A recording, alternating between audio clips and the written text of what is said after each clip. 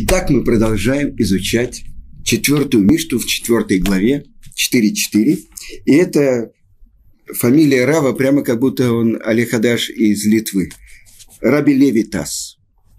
Из явно, да. И мы уже говорили про то, что написано в Мишне, чтобы человек был очень и очень... Слова скромный не подходит, но это э, шафаль рух, ставящий себя низко. И написано дальше такое выражение. Шетикват энош рима. Э, перевод литературно, что конец человека – тлен. Но ведь тиква – это надежда. Что надежда человека – тлен. Так совершенно ничего не понятно. Что это значит надежда человека? Будь скромным, будь смиренным, не ставь себя высоко. Почему? Потому что надежда человека тлен. Так понятно, что непонятно, о чем идет речь. Понятно. Да, непонятно. Понятно. А, скажите, о чем? Потому что человек не знает, когда он уйдет из жизни. Так. И любые его надежды – это клюм. Они могут осуществиться, могут нет. Нет, здесь же говорится, потому что надежда человека – тлен. То, что ожидает его, как будто.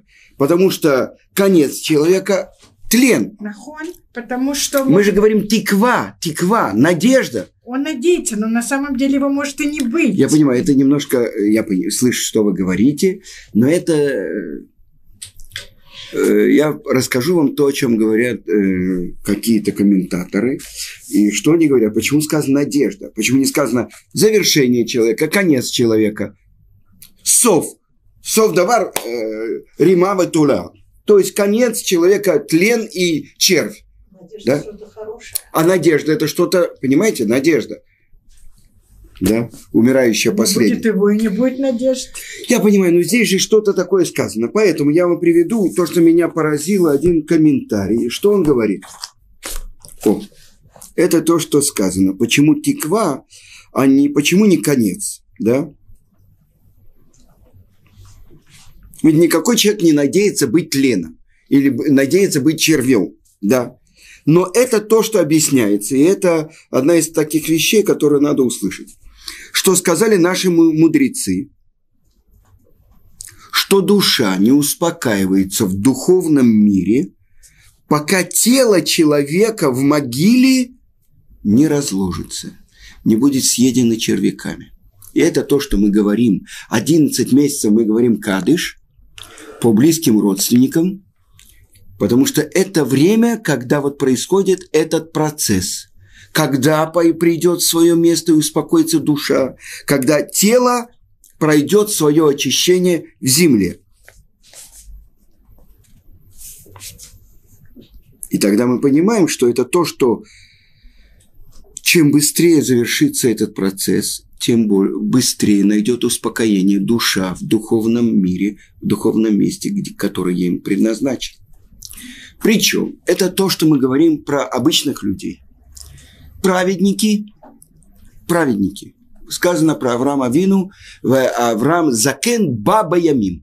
И он э, старец и пришел с днями. То есть то, что делают червяки, и то, что происходит, тлен и червяки, это то, что человек не успел достичь абсолютной цельности, когда он находился здесь. Ему нужно исправление после смерти.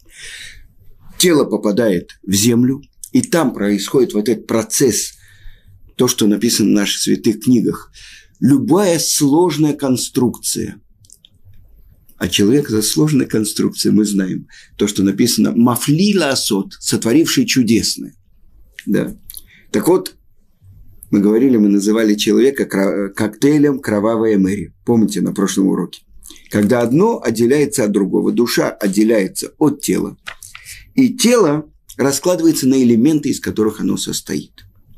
Так вот это то, что процесс очистки от всего того, что не пройдено, не сделано, когда человек жил в этом мире. Духа, душа находится в духовном мире, и происходит там очистка. Когда будет оживление из мертвых, соединится очищенная, обновленная душа с восстановленным и очищенным телом. Теперь, большие праведники, никакой червь к ним приблизиться не может. Это, прежде всего, наши працы, это большие праведники еврейского народа, которые полностью исполнили свою работу в этом мире. Написано так в Талмуде, что когда царь Шауль вызывал дух пророка Шмуэля, сказано, что там была одна колдунья, убиты были колдуньи, но он пришел к ней тайно и обещал, что ничего не сделает. И вдруг увидел, что приходят двое. Причем они пере, пришли так в перевернутом э, двое. И это э, она вызвала дух пророка Шмуэля, величайшего праведника. Сказано про него, он в своем поколении, как Моше и Аарон в своем. Но почему же двое? И объясняется в Талмуде, что он позвал с собой душу Моше Рабейну, который бы засвидетельствовал, что все то, что написано в Торе, Моше Рабейну пророк Шмуэль исполнил. Вы понимаете? Такой страх перед моментом, когда взыскивают, и он думает, что уже наступает момент э, оживления из мертвых. Вы понимаете? Так вот, мы говорим, праведники – это отдельный разговор, они полностью исполнили свое назначение. Поэтому этот сосуд, который содержал эту душу, которая полностью исполнила свое назначение – никто к нему не может приблизиться, и никто не может, никакой червь. Не разлагается? Нет, нет. До сих пор может? До сих пор. Что, они целые? -то? Несомненно. Это в Талмуде несколько раз описывается, как э, пророк Ильяу приходил э, в Ешиву к Раби Иуде, и как-то в новомесячье он опоздал. Тот его спросил, что такое, почему? Опоздал. Он говорит, потому что я прихожу к Аврааму Авину, э, я поднимаю его с ложа, я даю ему на тела ядаем, и он становится на молитву. Потом то же самое Ицхак Авину, потом Якова Авину и так далее. Спросил его Раби Иуда, почему же ты не сделаешь это одновременно? Он говорит, это нельзя. Если сразу бы они все встали и начали молиться – кончилось бы исправление всего мира, потому что его, их молитва такая действенная, что если бы они три праца молились одновременно, тоже бы уже пришел Машин.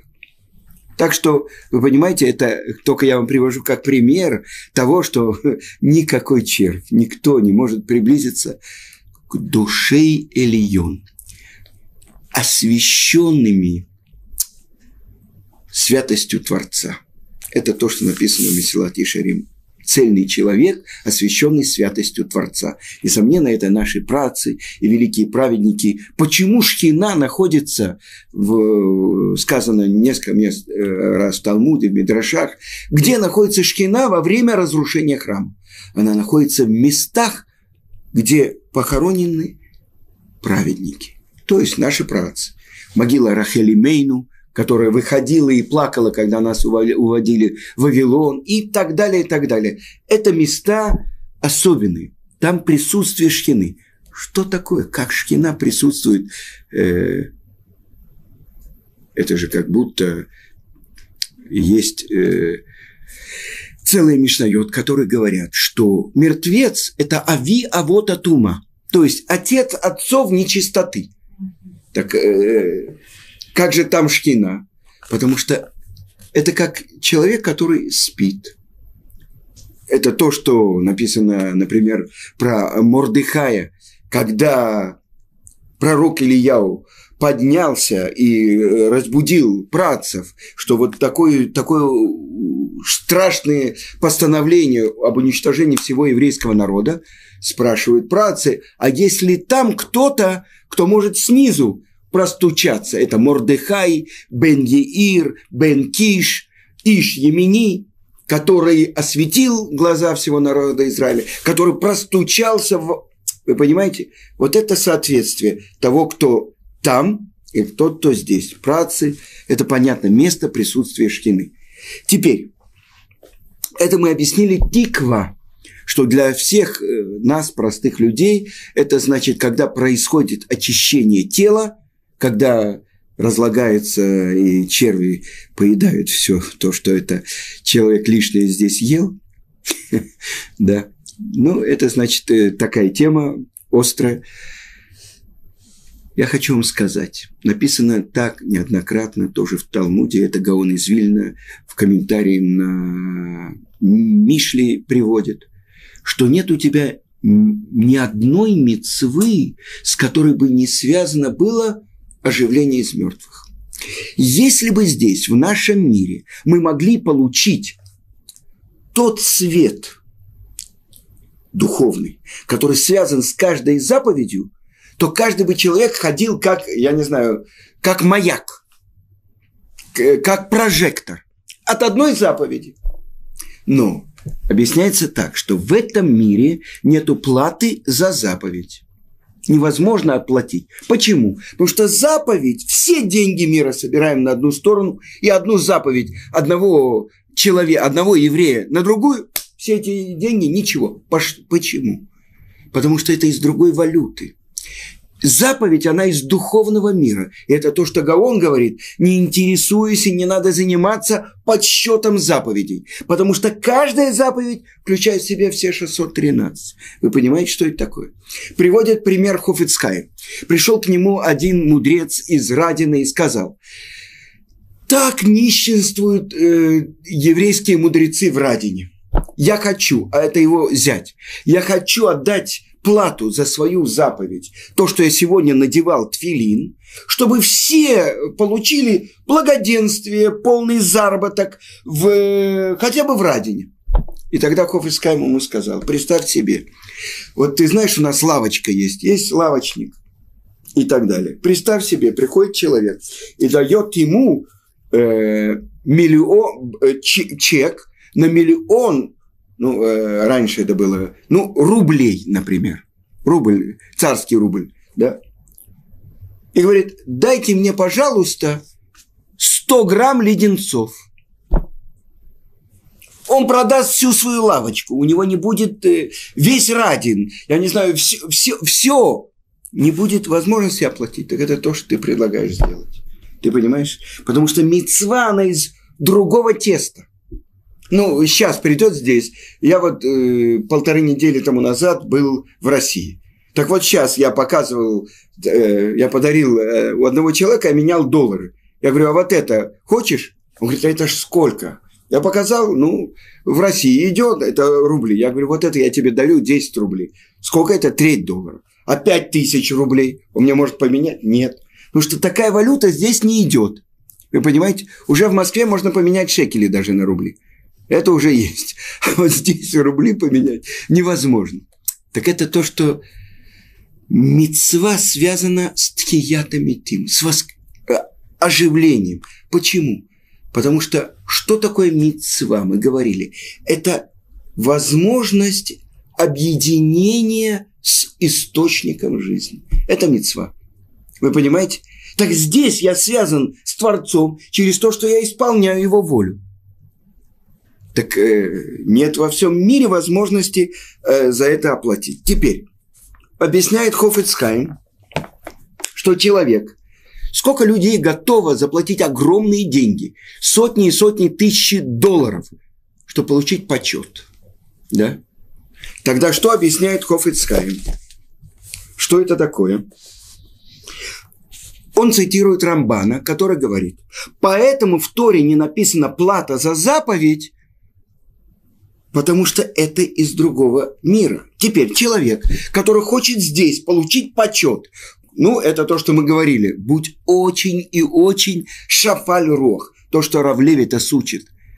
Потому что если ты здесь хочешь получить этот почет, так это твоя плата здесь вместо будущего мира. Вы понимаете? О, тогда это Почему, например, здесь тебе платят этим почетом, здесь, и тогда там ты не сможешь это получить, потому что в этом мире сказано, ты должен прикладывать усилия, исполнять заповеди, учить Тору, будущий мир, мир платы. То, на каком уровне, зависит от того, на каком уровне один праведник э, стоит и э, отличается от другого. По уровню того, что он успел здесь сделать. Вы понимаете? Я вам приведу сейчас это... Вы знаете, что это большое унижение для человека, например, собирать деньги. Для даже я один раз в жизни ездил в Америку, чтобы собирать деньги для Ишивы в Москве. Турат Хаим был в Чикаго. Это было Ханука. И я обычно дома у себя, есть такой по Гауну из Вильна, мы зажигаем со шкии, как только заходит солнце, мы уже зажигаем свечи, чтобы они горели еще полчаса после выхода звезд. Все замечательно. Там я стучусь в дом. И мне хозяин дома говорит, ну я же зажигаю свечи приди через полчаса. А я-то не зажигаю, вы понимаете? Или когда тебе дают какую-то, ну, какую-то небольшую труму, да, и ты должен сказать, я вам очень благодарен. Вы так помогаете поддержке Торы. Я бы ему заплатил два раза больше, чтобы я у него не брал эту сумму. Вы понимаете, что это такое? То есть, это работа очень хорошая над своими э, э, гордыней, скажем так, да? Теперь, объясняет это Хофицкайм, и он говорит так. Не только когда человек сам дает, но когда он побуждает давать других, он выполняет заповедь Цдака на самом высоком уровне. И вот он приводит э, очень интересная вещь.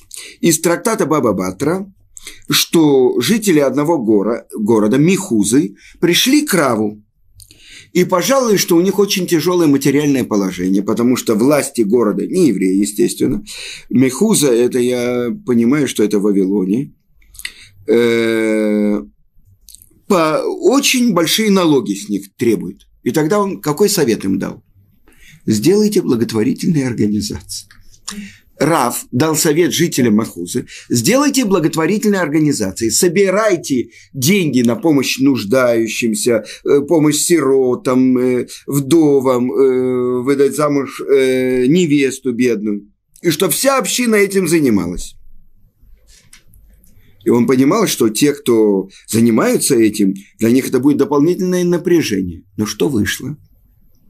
Небесный счет – вызвавший давление на население города, пополнится их усилиями, и тогда внешний гнет правительства отойдет, ослабеет.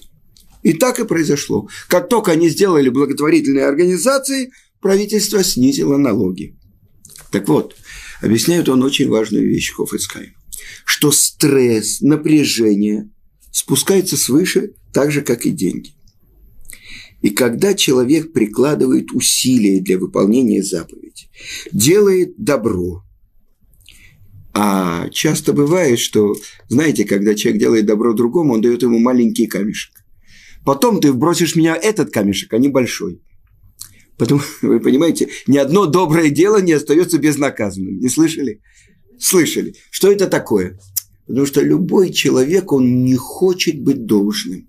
Если он мне сделал что-то хорошее, так может у него корыстный интерес. А сколько раз было, что, ну, например, вот он говорит, человек собирает деньги, да, и э, испытывает унижение, а когда он раздает, на него могут накричать и так далее.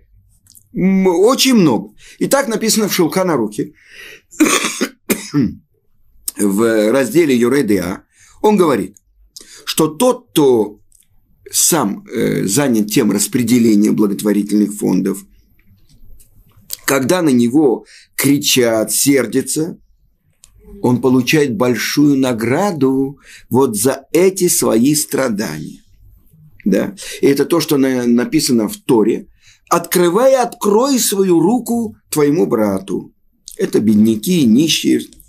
Так вот он говорит, что это сказано, сказано в строчке, говоря, «Э, «Вани э, мецавелеха леймор», а я заповедую тебе, говоря. Что значит это слово «говоря»? Надо не только давать нуждающимся, но и говорить, чтобы другие давали.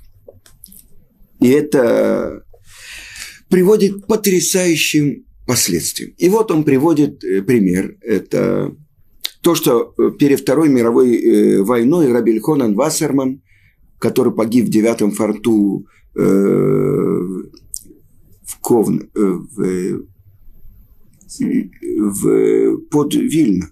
Девятый форт. Нет, в Ковна. Ковна. Э, в Америке, он перед войной был в Америке, собирал деньги для своей ешиви в Барановичах. Вот. И он встретил молодого человека, который активно участвовал в общественной жизни, преуспевающий бизнесмен, и он ему дал совет. Посвяти себя помощи другим людям. Это, эти слова определили будущее человека, раби Эли Мелеха Габриэля Треса, который возглавил организацию Ацола, которая была в Америке. И он оставил свой бизнес и посвятил себя помощи евреям и его талант, общительность, мужество, с которым он призывал других евреев, привели к спасению десятков тысяч евреев во время катастрофы. Он пробивался до президентов и так далее. Что он только не делал. Э, доставали деньги для Ишивы Мир, то, что посылали в Японию. Да, невозможно посчитать, сколько жизней и слов Торы, и молитвы, и мицвод произошли от этого одного совета Рабельхона Навасар. И немножко времени у нас еще есть, так я хочу привести то, что Рамбам приводит на э, эту нашу Мишту. И что он говорит? Ну, то есть, как бы мы говорим, с одной стороны почет, с другой стороны убегать от почета, да, ставить себя низко, потому что знай, куда ты идешь, что там будет потом, да. И Рамбам говорит так. То есть это одно из тех качеств, которым человек должен ставить себя низко и низко, а не стремиться, на самом деле, любой человек хочет, чтобы его уважали, чтобы его почитали, чтобы ему давали да, слава и так далее. Так вот, что это значит? Он говорит, не, не получать здесь. И он приводит одну историю. Он встретил одного тайного праведника. Это то, что хасид называлось тогда. Вы понимаете, что Рамбам жил за много веков до возникновения направления в еврействе хасидизма. А хасид – это был тайный праведник. И праведник не может быть, не быть великим еврейским мудрецом. Потому что если одно без другого, то сказано, что нет праведника не ученого еврея. А он был великий праведник. И вот он и спросил у него, скажи, какой был самый счастливый день твоей жизни? Сейчас я расскажу историю, чтобы вы сразу не воспринимали, мы должны ее понять. И он рассказывает. Я плыл на корабле, и я купил самое дешевое место. Это среди корабельных э, канатов. А на корабле плыли там э, э, банкиры, бизнесмены и так далее. У них были каюты и все. И вот я лежал вечером между канатами и так далее. И вышел какой-то вот такой вот, я надеюсь, что это был не еврей, да, и он увидел вот этого человека, который среди канатов, и он повел себя как животное, он свой естественный это, и да, вылил на этого человека, на этого тайного хасида историю. И вот что он рассказывает, что я в этот момент обрадовалась. Чему? Что у меня в сердце не возникло к этому пустому, ничтожному человеку никакого как бы э, гнева, ничего. То есть он достиг цельности в работе над этим качеством – но вы понимаете, что для нас всех, что это? Так э, я задал вопрос. Если он еврейский мудрец, да, то как же так? Он должен был бы в ответ на то, что его так оскорбили. Это же не его оскорбили, оскорбили Тору, да? Так он, как же это так? Одно соответствует другому. И мне объяснил один большой э, человек, что он сказал. Это то, что внутри себя он обрадовался тому, что у него не возникло ничего по отношению к этому пустому, ничтожному человеку, который так думал возвыситься над бедным. Это то, что богатый бедный, да? Дальше я спросил, так а по поводу Торы? Он говорит, то, что он потом мог с этим человеком сделать, в Талмуде несколько раз приводится такое выражение. Он посмотрел на него, то галя цамут, и превратил его в груду костей. Так вы понимаете, что такое? Э, впрямую написано в Моше. Э, Моше посмотрел сюда и сюда и увидел, что от этого египтянина нету никого, то есть от него не происходит никакой, даже в будущие века, праведник, это и превратил его, произнес имя Творца, и этот египтянин тут же упал. Вы понимаете, тот, кто достигает такого уровня, это очень трудно понять нам. Э, несомненно, любой человек, которого я, ну, за исключением, может быть, одного или двух в жизни, кого я могу представить на месте этого э, тайного праведника. Любой бы человек, э, что бы он сделал, вы понимаете, то есть э, почет Торы. Так э, из-за почета Торы, может, он его и превратил потом в груду костей. Но главное, что внутри себя вот этот камертон. Ведь главное это камертон, это не то, что снаружи, а только то, что внутри. Так вот этот камертон, насколько человек победил в себе вот эту гордыню, насколько человек живет в мире Творца так, что то, что ты мне, Творец, даешь, это самое лучшее, что у меня есть. Я не поднимаю себя э, ни над кем, потому что я как сосуд, как орудие в руках того, кто меня послал сюда. Вы понимаете? Это сказано про больших праведников. Отмени свою волю перед его волей, и тогда он сделает твою волю как свою волю. Так мы понимаем, что это... Э, мы не понимаем прежде всего. То есть никто бы себя на месте этого праведника не мог. Ну, никто, насколько я, я думаю, что один или два максимум человека, которых я встретил за свою жизнь, могли бы, я не буду говорить именно, да, могли бы оказаться в такой ситуации, я вам приведу пример, хорошо. Это... Я не знал эту историю, но э, я расскажу про Равыцка. Это он шел по Гиуле.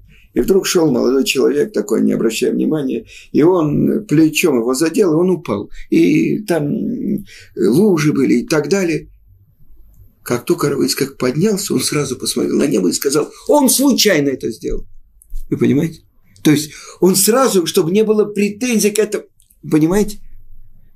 Но это надо думать про то, как оправдать того.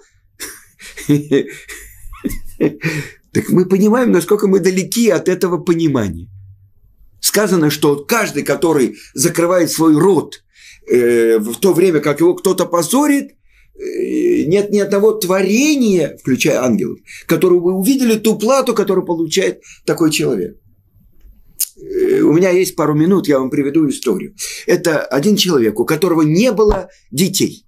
И он каждый год приходил к Равхайму Каневскому и спрашивал, ну что, ну что? Тот ему сказал, все, я тебе уже рассказал все, что во всей Торе написано. Остался последний вариант. Какой?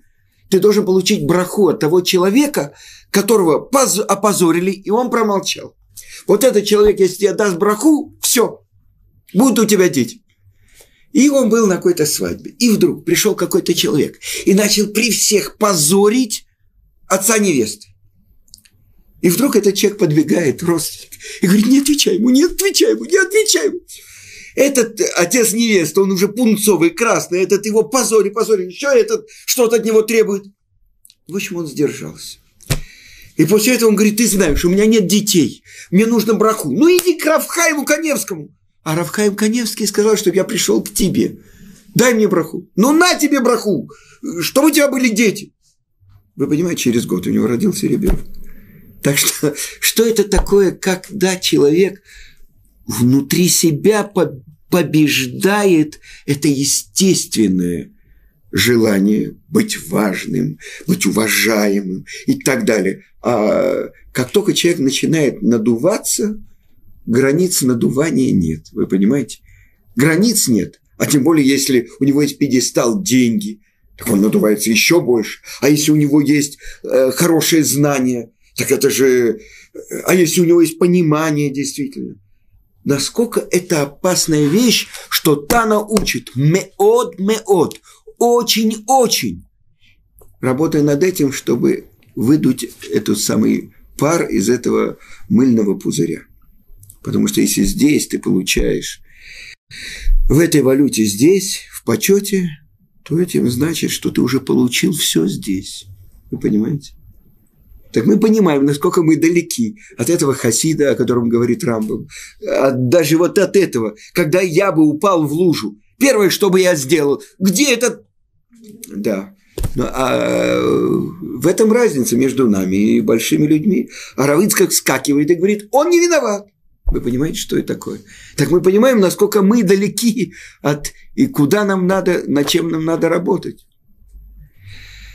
Ну, в общем, чтобы Ашем нам помог, чтобы мы действительно учили для того, чтобы исполнять, а не только для того, чтобы учить.